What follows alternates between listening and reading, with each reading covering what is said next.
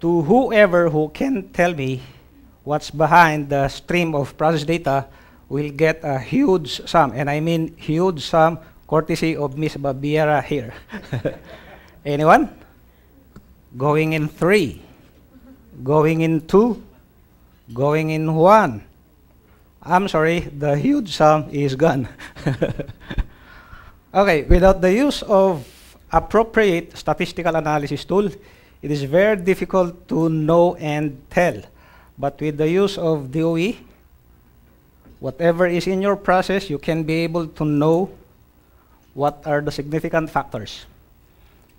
Using the significant factors, you can also know how to set them so that you'll get the best combination of them for you to ultimately get an optimized or robust process. Before going any deeper, let us calibrate ourselves with the terminology experiment. According to Douglas Montgomery, experiment is a test or a series of tests in which purposeful changes are made to the input variables of a process or system so that we may observe and identify the reasons for changes that may be observed in the output response. Experiment it is when you only consider fresh data as an output of the intentional manipulation that you put into your input variables. Experiment it is not when you only use historical data. All right? And why do we do experimentations? We experiment because everything around us changes, warranting the need for continuous improvement.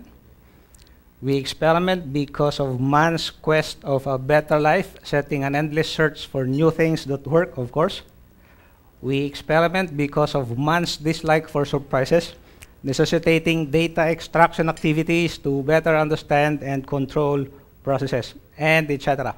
To generalize the objective of experimentation, taking a look at a process model where you have inputs, inputs that you, most of them control.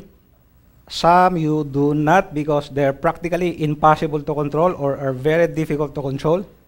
And of course, you have the output here. We experiment to characterize the process. Given these so many input variables, we'd like to know which among them are in important or influential to, to the output response. We experiment to optimize the process considering the significant variables. We'd like to know which to put them, what combination of them to use so that we'll have the best response.